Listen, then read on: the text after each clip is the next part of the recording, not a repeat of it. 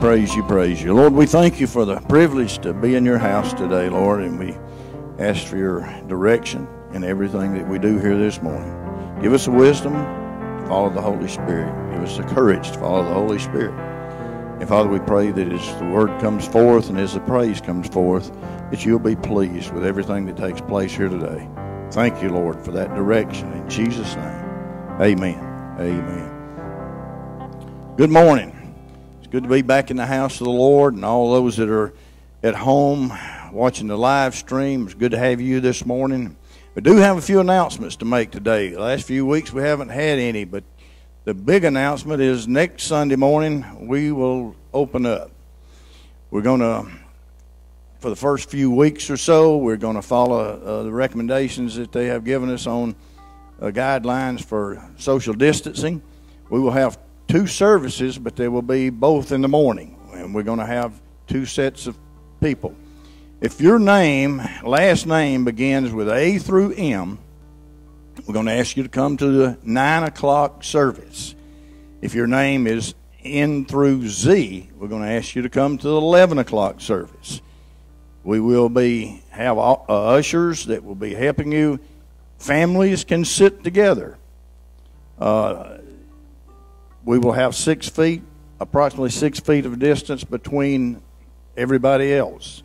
Uh, one family and the next family will have six feet apart. If it's a one person or two people, they will be six feet from the others around them.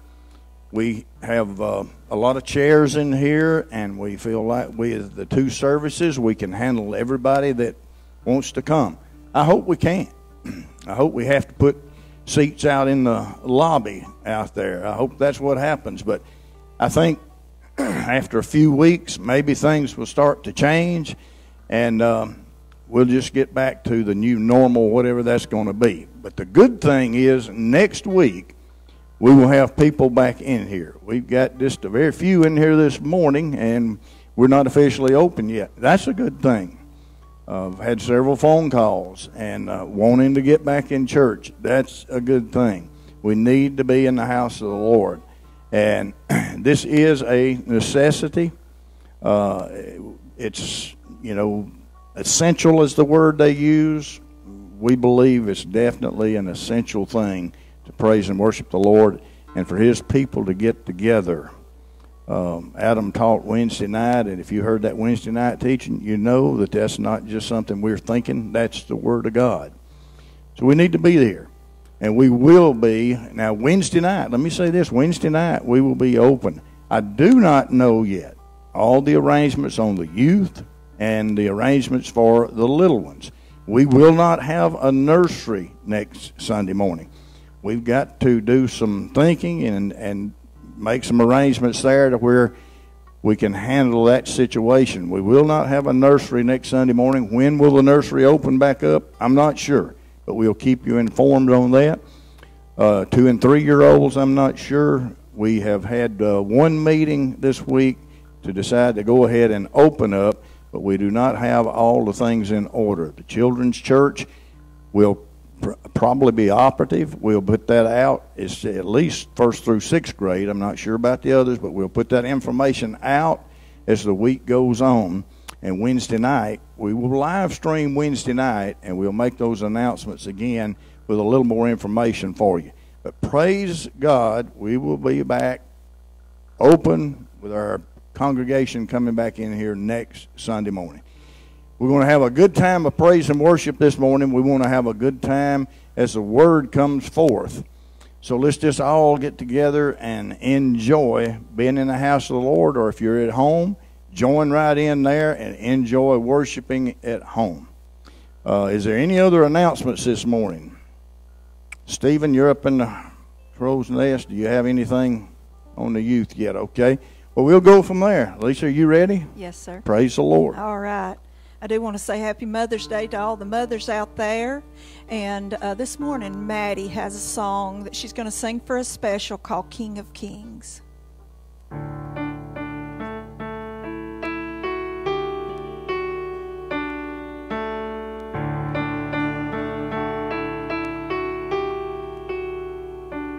In the darkness, we were waiting without hope, without light. Till from heaven you came running. There was mercy in your eyes to fulfill the law and prophets. To a virgin came the word from a throne of endless glory to a cradle in the dirt.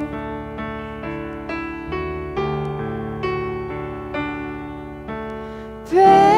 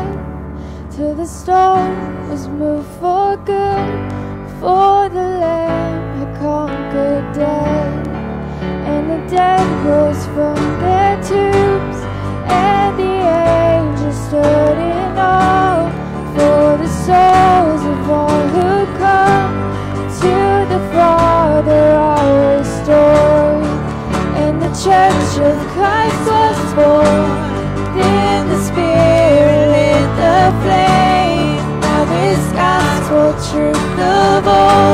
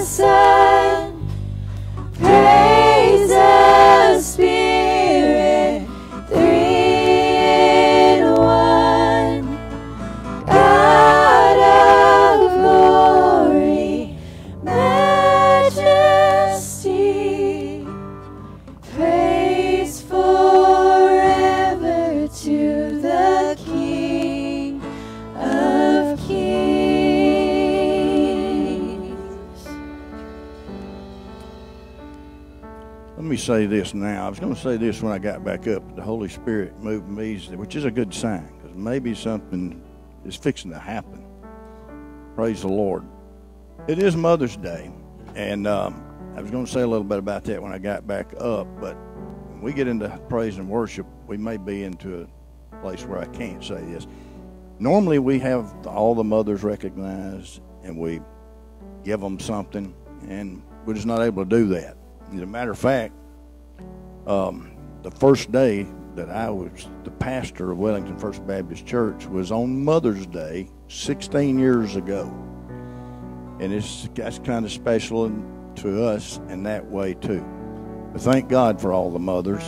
And um, and I want to mention, you know, ne- again next week, if if it's impossible for you to make the service that your name comes in, uh, please don't choose one another. Try to stay within what your name is. But if you can't be at a nine o'clock service and you're supposed to be, and you can come at eleven, do that. Don't stay out one or the other because of that. And if you want to wear a mask, we would encourage that. Uh, we have people that will be wearing have mask on. You do that if you feel safer that way, and it does help keep anything from spreading. So I want to make those two announcements. I was going to make those later, but that's a good sign. I believe the Lord's fixing to move this morning. So let's just continue on right now with where we are. All right. All those who are here, if you want to stand, what an awesome day to be here. What an awesome day to be in the house of the Lord. Yes, it is. Yes, it is. I wandered so aimless, I filled with sin. I wouldn't let my dear Savior in. Came like a stranger in the night. Praise the Lord, I saw the light. I saw the light, I saw the light. No more darkness, no more night. Now I'm so happy, no sorrow inside. Praise the Lord, I saw the light.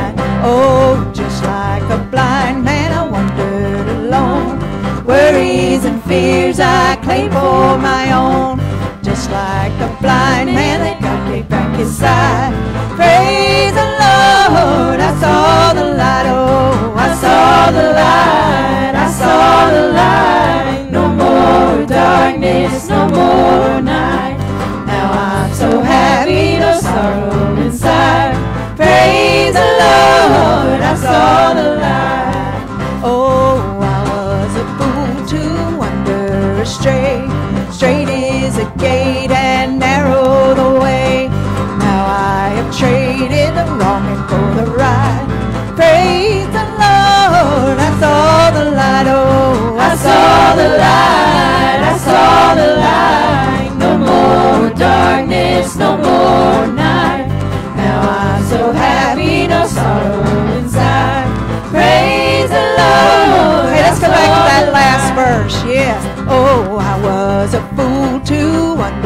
Astray.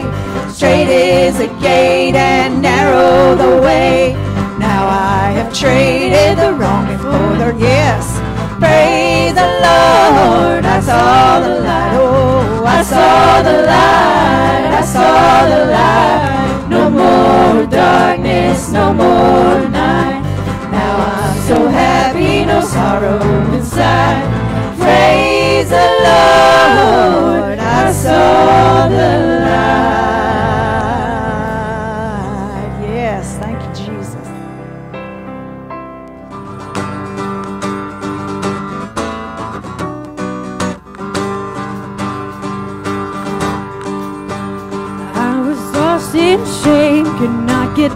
My blame till he called my name. I'm so glad he changed me, darkness held me down, but Jesus pulled me out. I'm no longer bound. I'm so glad he changed me, see, I am a new creation in Christ. Yes, I am. The old has gone, there's new life. I live by faith, not by sight. Yes, a new name. There is a new name written down in glory, and it's mine. Yes, it's mine. I met the author of my story, and he's mine. Yes, he's mine. Sin had left me blind. Jesus opened my eyes. I can see the light. I'm so glad he changed me. Now I'm walking free. I got the victory. It's all over me. I'm so glad he changed me. See, I am a new creation in Christ. Yes, I am. The old is gone, there's new life. I live by faith, not by sight.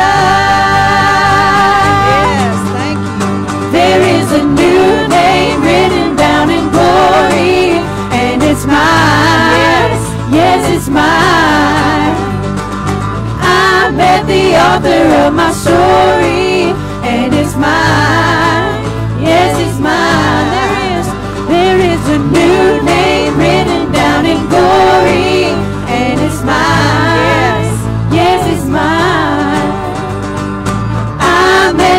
Author of my story, and he's mine. Yes, he's mine. I am who I am because the I am tells me who I am. I am who I am because the I am tells me who I am.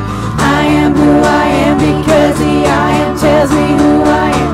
I am who I am because the I am tells me who I am. There is a new name written down in glory, and it's mine. Yes, it's mine. I met the author of my story, and it's mine. Yes, it's mine. There is a new name written down in glory, and it's mine. Yes, it's mine. I met the author of my story, and he's mine. Yes, he's mine. Oh, he's mine. Yes, he's mine.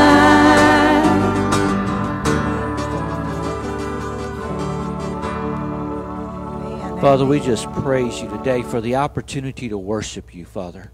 We thank you for the opportunity to worship you here in the sanctuary, Father God, and through the live stream.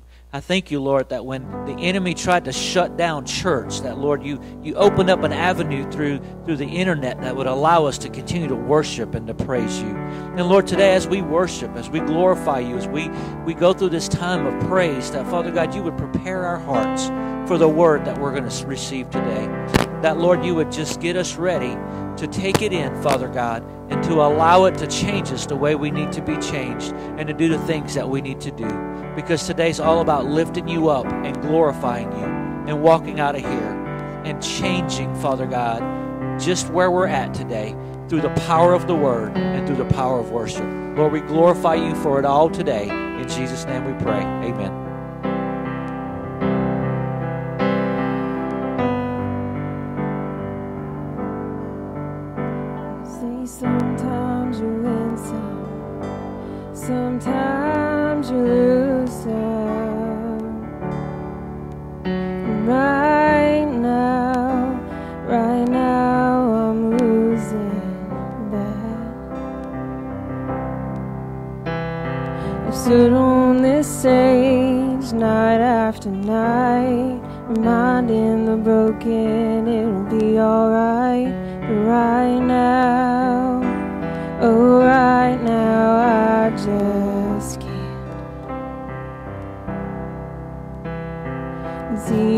To sing there's nothing to bring me down.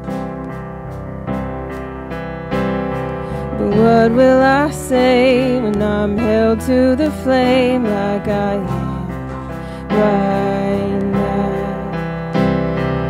I know you're able and I know you can save through the fire with your mighty hand. But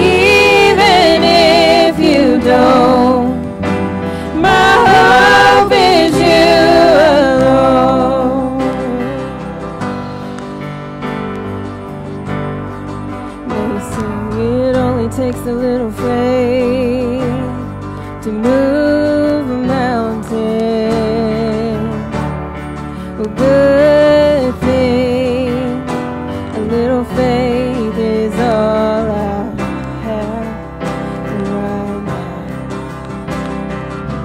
God, when you choose to leave mountains unmovable. Oh, give me the strength to be able to see.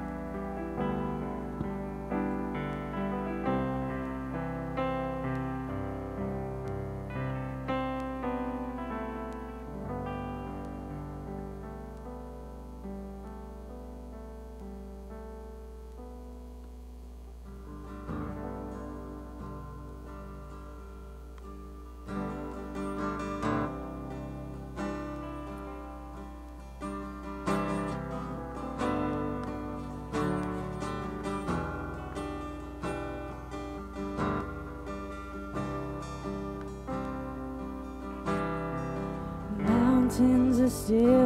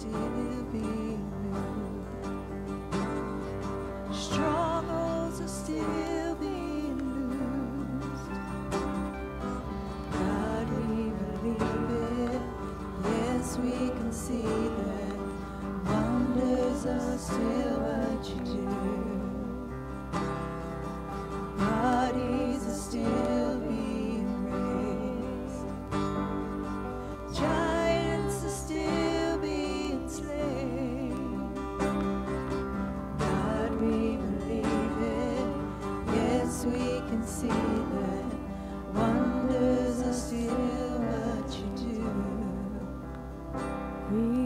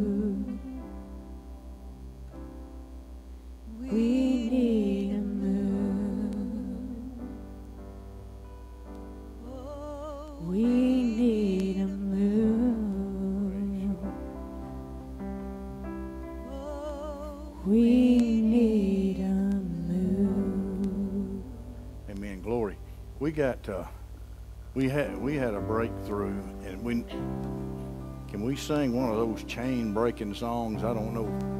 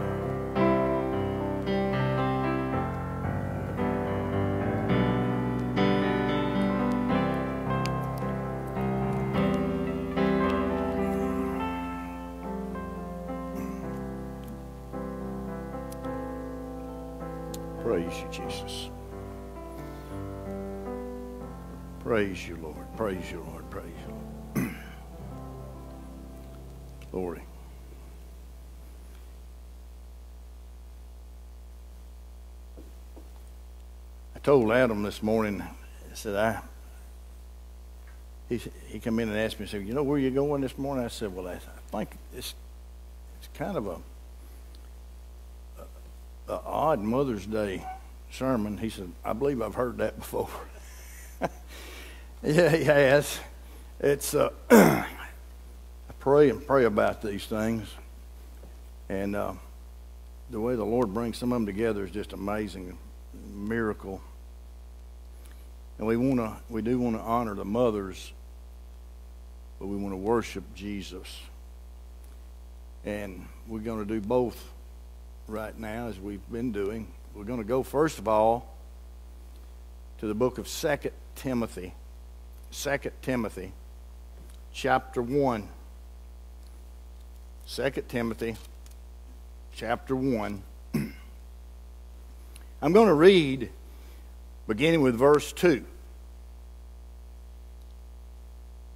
To Timothy, a beloved son, grace, mercy, and peace from God the Father and Christ Jesus our Lord. I thank God, whom I serve with a pure conscience, as my forefathers did, as without ceasing I remember you in my prayers night and day, greatly desiring to see you, being mindful of your tears, that I may be filled with joy. When I call to remembrance the genuine faith that is in you, which dwelled first in your grandmother Lois and your mother Eunice, and I am persuaded is in you also. That strong, strong faith that Timothy had received, and he said that I, Paul is writing this, he said that I saw first in your grandmother Lois and your mother Eunice. You see, that grandmother, in raising Eunice, had instilled in her that belief in Jesus, that faith, that strong desire. And Eunice, with the help of her mother Lois, that had instilled in Timothy that strong faith, that desire. Scripture says, train up a child in the way he should go. When he's old, he'll not depart from that. Training up a child is a lot of debate about it. But Scripture has directions that tell us how to go about that. And you got to bring all those scriptures together, and you got to swallow a lot of pride, pick up a lot of courage, and do what's right in the eyes of God.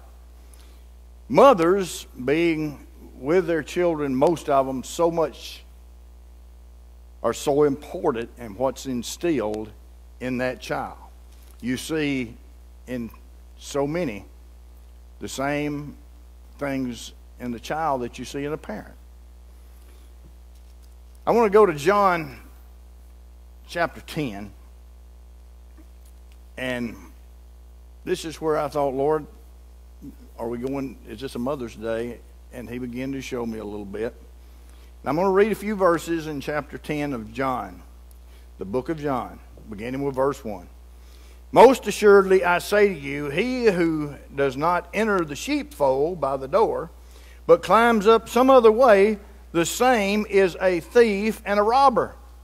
But he who enters by the door is the shepherd of the sheep.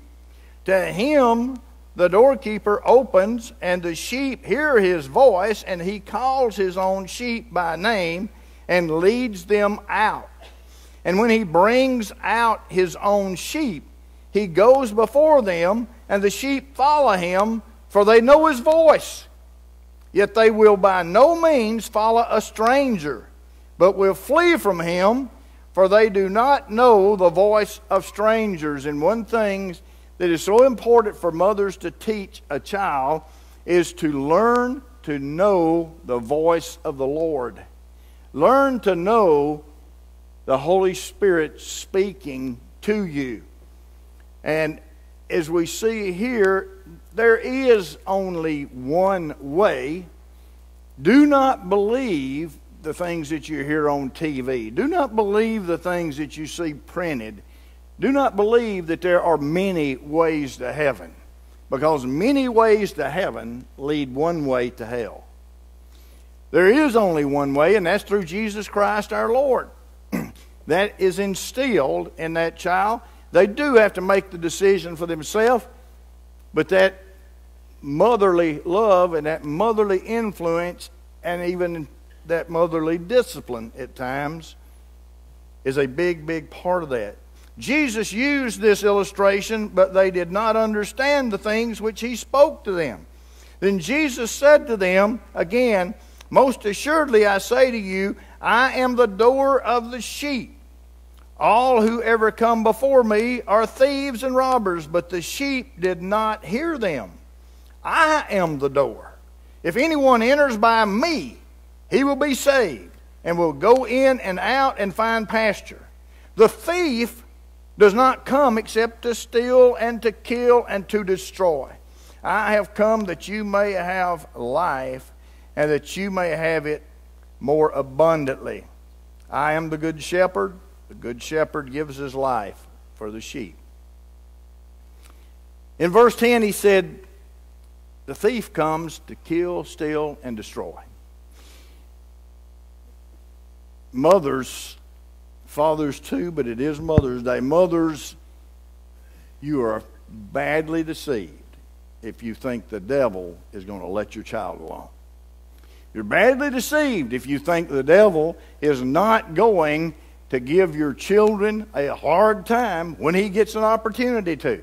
And you're badly deceived if you think you're going to be able to be the one that deals with it. That child is going to have to deal with it that child is going to have to know how to deal with it. Satan is going to come. He's going to come to try to kill, steal, and destroy that child. It happens to every, nobody is exempt. He's coming. The mother still is so important in that because she will win more battles on her knees in prayer than ever by trying to argue a situation. I want to look at what Second Corinthians says here for a second. Second Corinthians chapter 2, verse 10 and 11. Now, whom you forgive anything, I also forgive. For if indeed I have forgiven anything, I have forgiven that one for your sakes in the presence of Christ. Lest Satan should take advantage of us, for we are not ignorant of his devices. You see, one thing that really needs to be instilled is the Word of God teaching how to know how Satan works. When a mother instills in a child the operation of the powers of darkness, how to seek Jesus, how to go about following the Lord in these situations, knowing the devices that Satan will throw up. There is so many ways, and it you know it blows my mind how he catches Christian mothers off guard so many times by a situation that all of a sudden they're fighting it in the flesh. They're fighting it in the flesh. You are not going to win the battle in the flesh, neither will your child win the battle in the flesh. And if you teach them to fight the battle in the flesh, you're teaching them how to lose the battle. And it will happen, it does happen. We're, we live in a fleshly body. We're weak at times. We get our strength through the power of the Holy Spirit. 1 Peter. In 1 Peter chapter 5. I want to read about three verses there, beginning with verse 6. 1 Peter chapter 5, beginning with verse 6. Therefore, humble yourselves under the mighty hand of God, that he may exalt you in due time, casting all your care upon him, for he cares for you. Be sober, be vigilant, because your adversary, the devil, walks about like a roaring lion, seeking whom he may devour. Resist him, steadfast in the faith, knowing that the same sufferings are experienced by your brotherhood in the world. He says, Cast all your cares upon the Lord, for he cares for you. Be sober, be vigilant, because your adversary, the devil, walks around like a roaring lion, seeking whom he may devour. There is nothing you can do as a mother to go out there and say, Well, I'm going to do this, and the devil will let my child alone. Your child is going to have to learn to fight that battle. It's more, way more important to teach the child how to fight the battle than it is for you to fight the battle for them. Now, I, uh, unfortunately or fortunately, whatever you want to say, either side, I've been in education for 40 something years. I have seen all kind of situations. I have seen two roads, two ditches, excuse me, two ditches and the middle of the road. Very few, there are some, but very few take the middle of the road. One ditch, unfortunately, are those mothers that really just don't care. They don't care. They don't put enough effort into, into raising the child. They let the child do what they want to. Uh, they just do not care enough. But that's not so much the ditch that we're talking about. The other ditch is the one that way goes overboard. They want to hover over that child, even when they begin to grow up. They hover over that child. That child, the Lord is dealing and trying to teach things but the parent will not let them teach it. The mother will not let them teach it. You know, and in the first couple of years that I was at Jacksonville Christian Academy, I got really upset one day because of some things that happened within the school because I'm thinking I'm principaling a Christian school. Why would this happen? What in the world am I doing wrong here? What's I am trying to live like the Lord wants me to live. I'm trying to live for Him. I'm trying to follow. Why? He let me wallow around in that for a while, and He said, That's enough. Here's the answer I allow some of these things to happen so I can teach through you the things that I want taught in them for things that they're going to be confronted with later on in life. Life is not going to be a piece of cake, neither are they going to go through life without making mistakes. And I said, duh. Right in front of me. The very thing I should have known. Mothers need to learn and need to get a grasp on the fact that the Lord is going to grow your child if you're in a Christian environment. Things are not going to go perfect. Things are not going to be just like you want them all the time. And you're going to have to give that child some space. I have seen, I, I can tell you situation after situation. Some are good, some are not. I go way back. Uh, and I remember many, many years ago, this mother came in and said, This happened, this, this, this, this. You weren't even there. How can you tell me? This, this, and this, this. The child couldn't even say anything. This child, wouldn't. she would not lie to me. She would not lie to me. She probably lied more than anybody in the school. But she was convinced she didn't lie. She wouldn't do this. She wouldn't. It blew my mind. Why not let the Lord teach here what's trying to be taught? Back when I was in the public school system, I remember a situation where a young man, he talked to me a good bit. He was on up about the 11th grade, 11th, 12th grade. And I, he got into a, got into a trouble, and his, his mother came in, and, and he was, uh, for some reason, I was called in to witness there within, in the principal's office, and he was saying things that I knew was an absolute lie. And he was saying that, but I didn't open my mouth. I was a witness. So the mother believed that. She had a fit about it. The principal did what he had to do. I was a teacher at that time. And uh, later on in the day, this young man, I love him to this day. Matter of fact, I think he's preaching. He come to my office down there, and uh, he had a big old grin on his face, and he sat down. I looked at him. I said, "Your mother believed every word you said. And he laughed and he said, Didn't your mother believe you? He had made a fool out of her in the office. The point being, mothers, your children do not tell the truth all the time. No matter how much you want to believe that, they don't. And in these things, you've got to start letting them somewhere take care of some of their own problems. Deal with things yourself. I raised four daughters. It, sometimes it's a hard thing to do. Sometimes there was things said that, in my view, and in Frankie's, but in my view, they had been done terribly wrong. Now, I was probably very prejudiced, but we fortunately stayed out of it and let them handle their own problem. Let them handle the situation between them and another student. I have situations sometimes where the mother comes in and there's a situation and there have there has been no contact with the teacher. The student hadn't done anything. Let me give you a little example of something that happened here in the, this past year that I thought was good. As a matter of fact, the Lord used that to, for, to bring some of this to me today.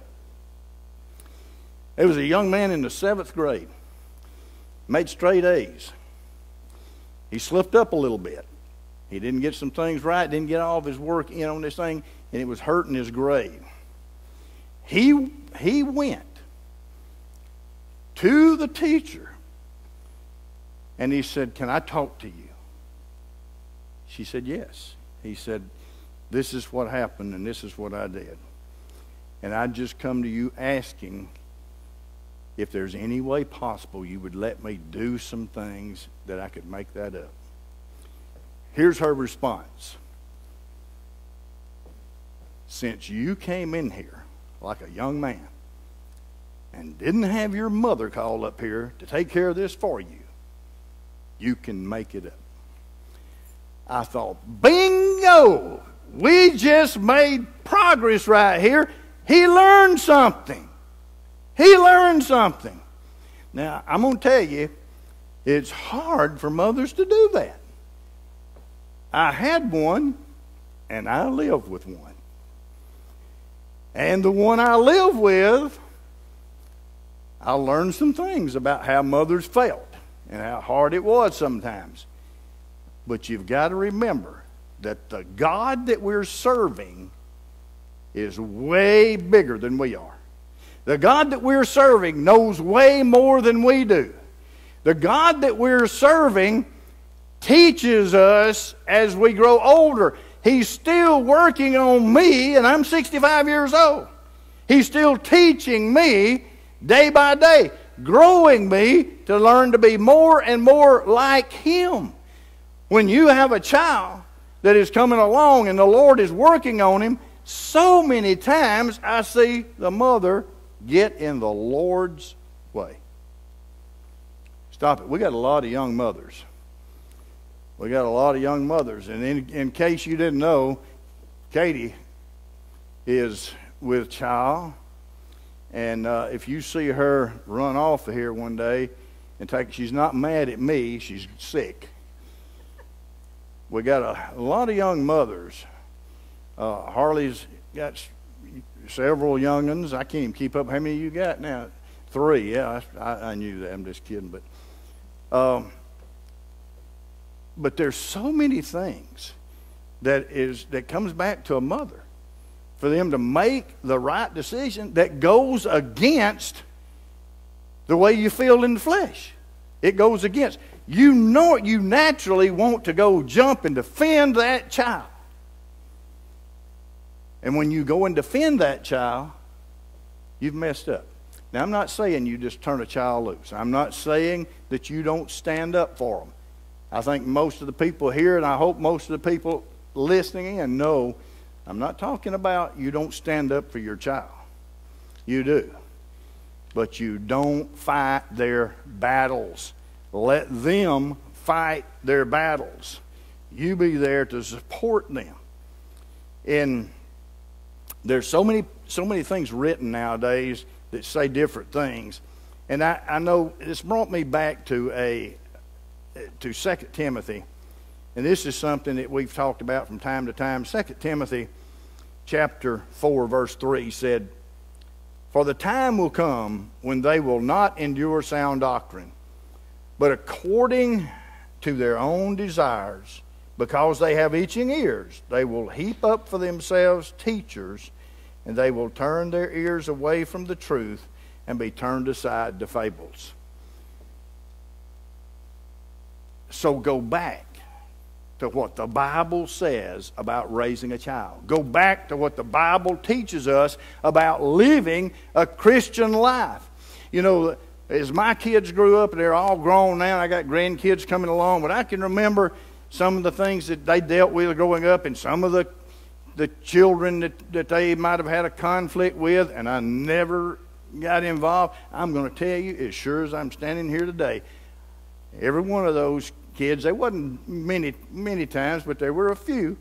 Every one of those kids that they had a conflict with, I love them. I love that child. I love them and would do anything for them in the world. You don't take those kind of things to the flesh and take them personally. He's called us to love each other. He's called us to look over and beyond, forgive and forget, and love people that hurt us. That's one of the hardest things to instill for a mother because you are feeling the hurt of the child.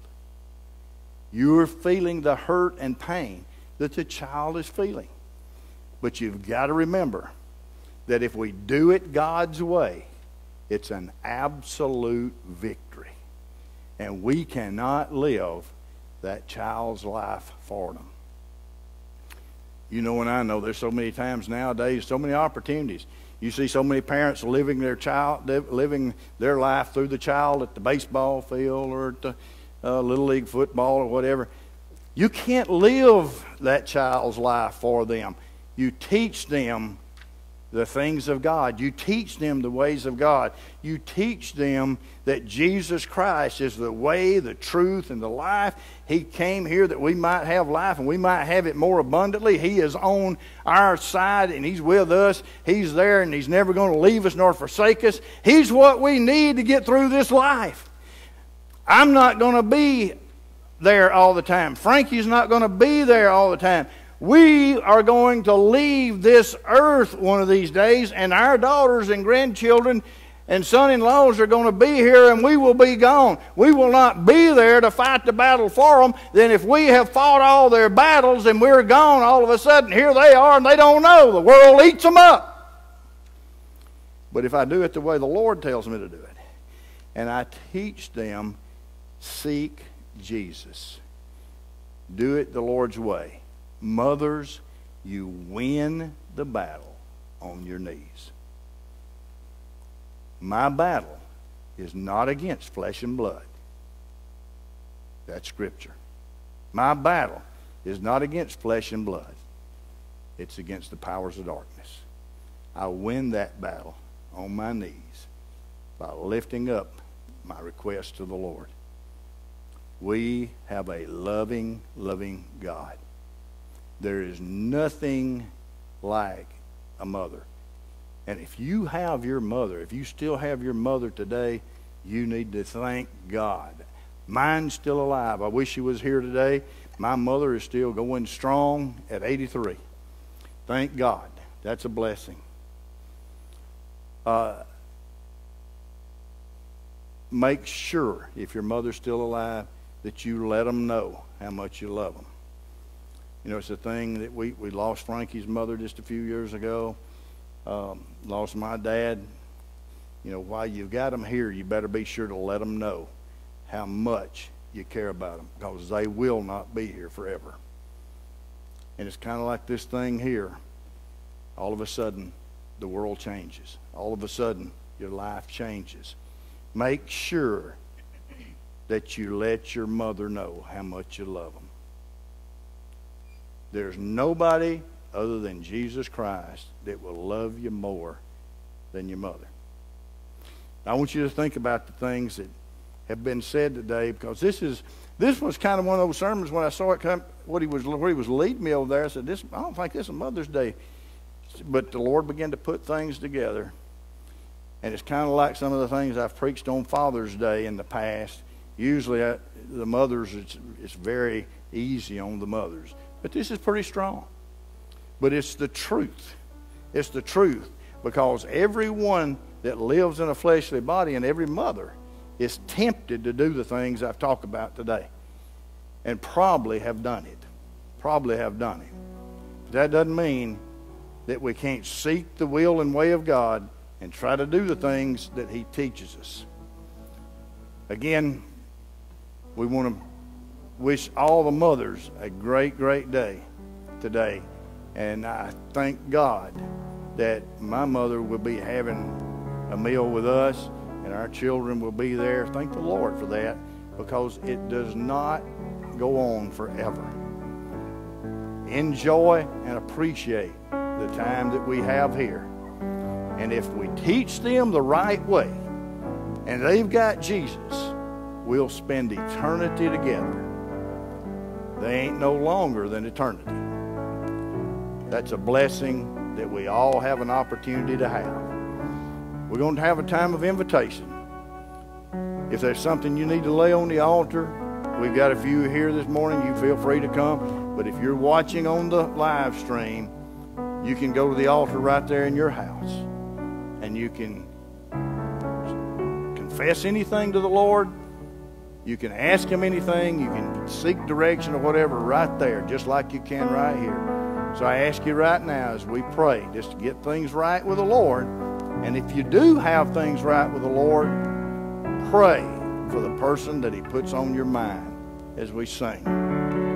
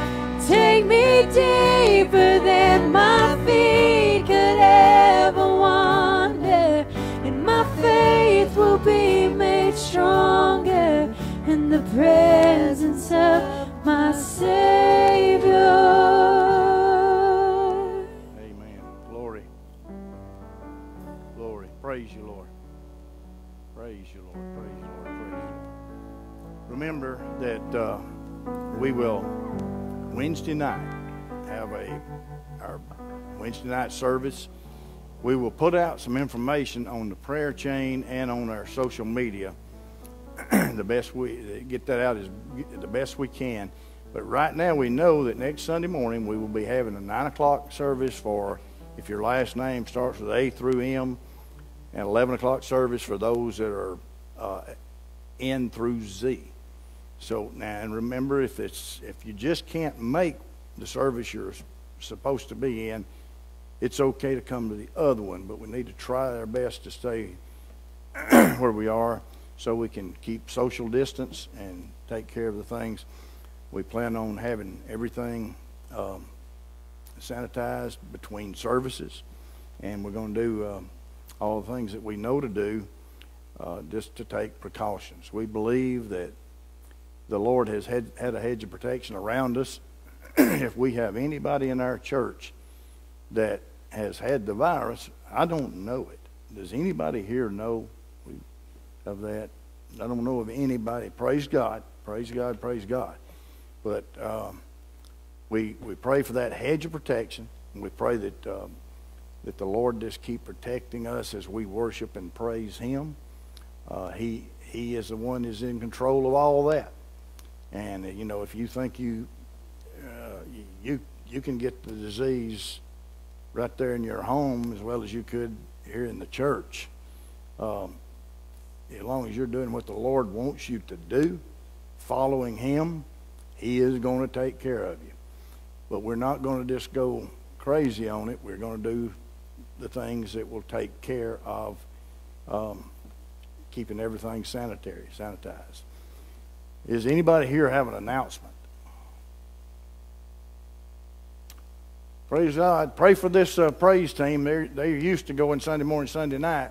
They're going to have to turn around one service and, and in a couple of hours do another service. So, and and the preachers usually used to having a few hours in between too. I, I'm not worried about that.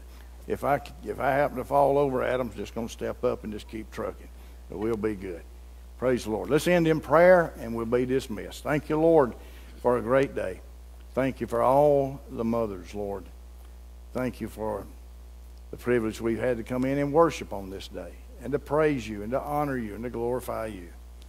Thank you, Lord, for that. You've been so good to us. You've blessed us in so many ways. And we give you praise, honor, and glory. And I pray that you just have that hedge of protection around our church family. And as we leave here today, be with each one as they go to their homes. And Father, I pray that you would stay in our hearts, that the word would not be stolen from us, and that we would grow closer to you and closer to each other. We give you praise in Jesus' name. Amen and amen.